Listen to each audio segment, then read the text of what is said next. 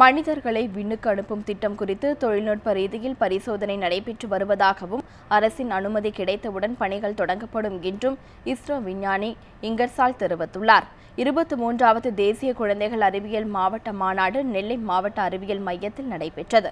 மாவட்டம் முழுவதும் உள்ள பள்ளிகளிலிருந்து பங்கேற்ற மாணவ மாணவிகள் பருவநிலை மாற்றங்கள் உலக வெப்பமயமாதல் என்ற தலைப்புகளில் தங்கள் ஆய்வறிக்கையை சமர்ப்பித்தனர். இந்நிகழ்ச்சியில் சிறப்பு விருந்தினராக கலந்து கொண்ட மகேந்திரகிரி இஸ்ரோ விஞ்ஞானி இங்கர்சால் வெற்றி பெற்ற மாணவ மாணவிகளுக்கு பரிசுகளை வழங்கினார். பின்னர் செய்தியாளர்களுக்கு பேட்டியளித்த விஞ்ஞானி இங்கர்சால் ஜிசாட் பதினைந்து செயற்கைக்கோள் செவ்வாய்க்கு அனுப்பப்பட்டு ஒரு வருடம் கடந்த நிலையில் செவ்வாய் கிரகத்தின் வரைபடம் கிடைத்துள்ளதாகவும் இன்னும் ஒரு வருடம் இந்த செயற்கைக்கோள் செயல்படும் என்றும் தெரிவித்தார். மேலும் சந்திராயன் இரண்டு செயற்கைக்கோள் இரண்டு வருடத்தில் அனுப்பப்பட உள்ளதாகவும் மனிதர்களை விண்ணுக்கு அனுப்பும் திட்டம் குறித்து தொழில்நுட்ப ரீதியில் பரிசோதனை நடைபெற்று வருவதாகவும் அரசின் அனுமதி கிடைத்தவுடன் பணிகள் மேற்கொள்ளப்படும் என்றும் அவர் தெரிவித்தார்.